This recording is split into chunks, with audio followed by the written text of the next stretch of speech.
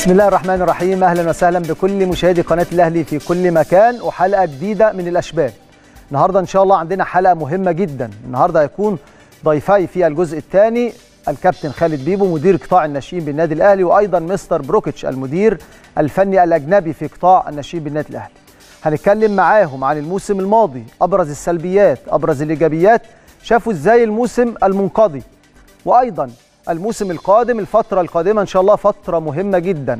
كان في اجتماع مهم أيضا مع لجنة التخطيط مع الكابتن خالد بيبو وأيضا مستر بروكيتش هنعرف أبرز ما دار في هذه الجلسة وكمان الرؤية المستقبلية بالنسبة لقطاع الناشئين ولكن ده كله هيكون معانا في الجزء الثاني النهاردة من حلقتنا. قبل ما أروح لحلقتنا برضو النهاردة عايز أتكلم عن يعني حديث الشارع الأهلاوي وكل الأهلاوية بيتكلموا عن مباراة الأهلي وكايزر تشيفز. المباراة المرتقبة إن شاء الله يوم السبت القادم الساعة التاسعة بتوقيت القاهرة في ملعب محمد الخامس في المغرب. مباراة بينتظرها كل الأهلوية كل التوفيق إن شاء الله للاعبي النادي الأهلي والجهاز الفني.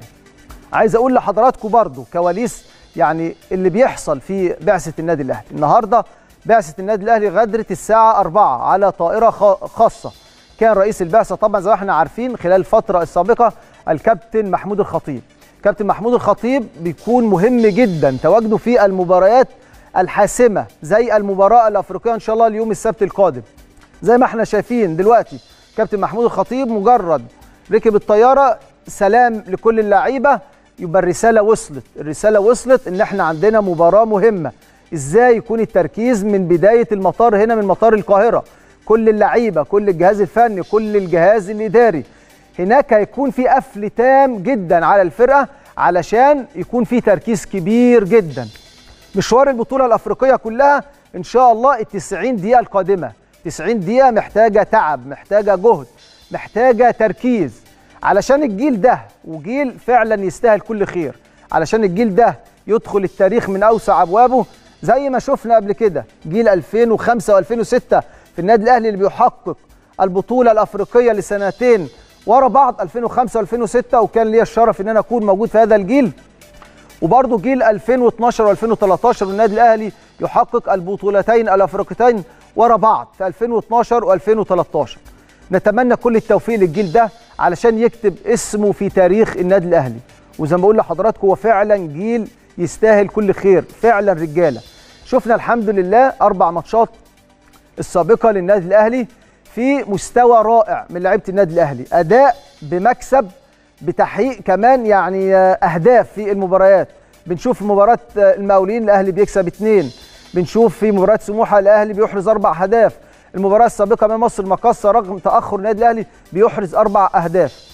بلغة الكرة في لعيبة الحمد لله قبل المباراة المرتقبة يوم السبت في لعيبة فائت. محمد شريف بيوصل ما شاء الله لأفضل حالاته.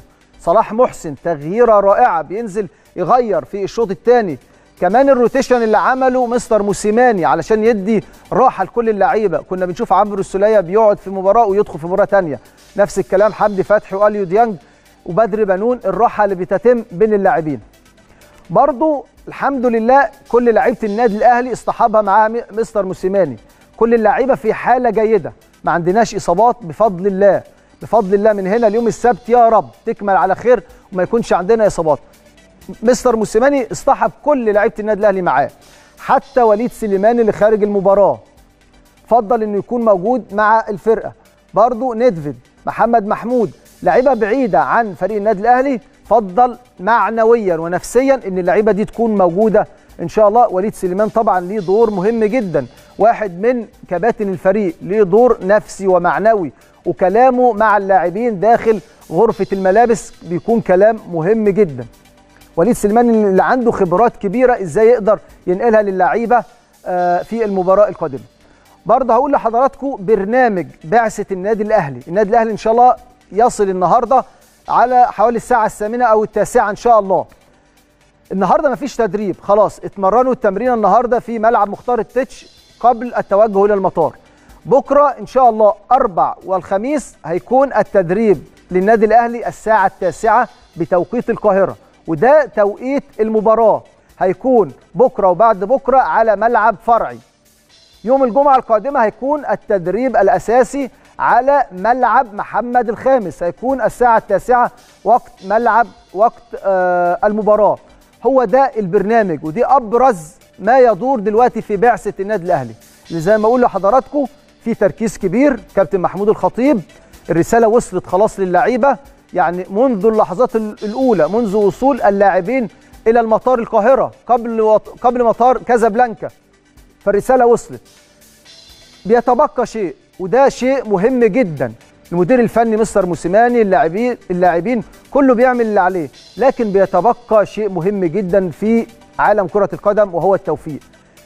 نسأل الله إن يكون التوفيق إن شاء الله من حالفنا يوم السبت القادم تكون اللعيبة في حالتها. مستر موسيماني يحط تشكيلة إن شاء الله جيدة لبداية المباراة وكمان تغييراته تكون إن شاء الله إضافة أثناء المباراة ويكون التوفيق إن شاء الله حليف لاعبي النادي الأهلي بنتمنى لهم كل التوفيق.